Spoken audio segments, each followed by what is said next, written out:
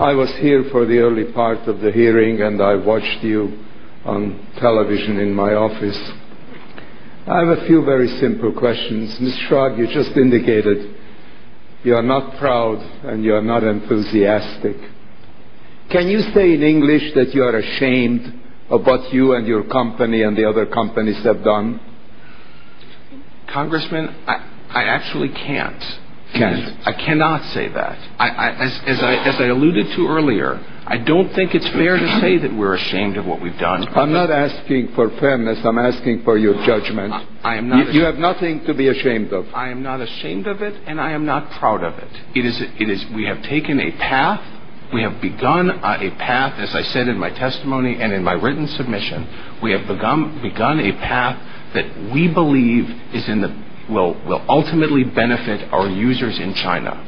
If we determine, Congressman, as a result of changes in circumstances or as a result of the implementation of, the Google.cn program service, that we are not achieving those results, then we will assess our performance, our ability to achieve the goals, and decide whether or not to remain in that market. Are you or is your company at all ashamed of what you have done in this whole business?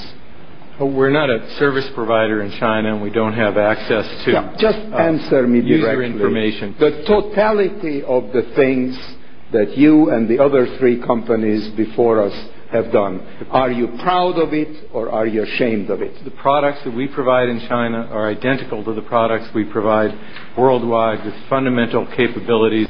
Uh, the Taking the totality of your activities in China, there is nothing that you or your company need to be ashamed of. Is that your testimony? Our company provides internet infrastructure. I'm asking a direct question. Is there anything that you have done in the whole period you operated in China that the company ought to be ashamed of? Our company provides access to information for people all over the world, including China. So your answer is you have nothing to be ashamed of. My answer is I feel that our engagement is consistent with our government's goals and it's a Let me move engagement. on to your colleague. Comply with legally binding orders. In, whether it's here in the United States or in China or any of the other 90 countries. Well, IBM complied with legal orders when they cooperated with Nazi Germany.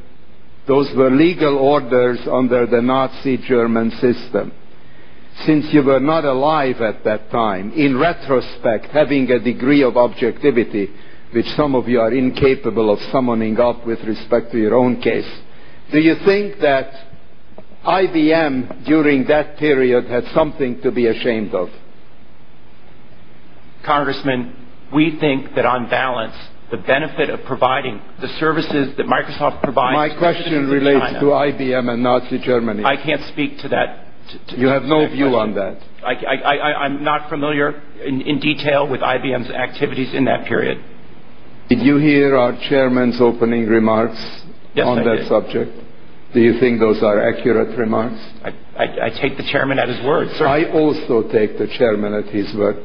Assuming that his words were accurate, is, is IBM to be ashamed of that action during that period?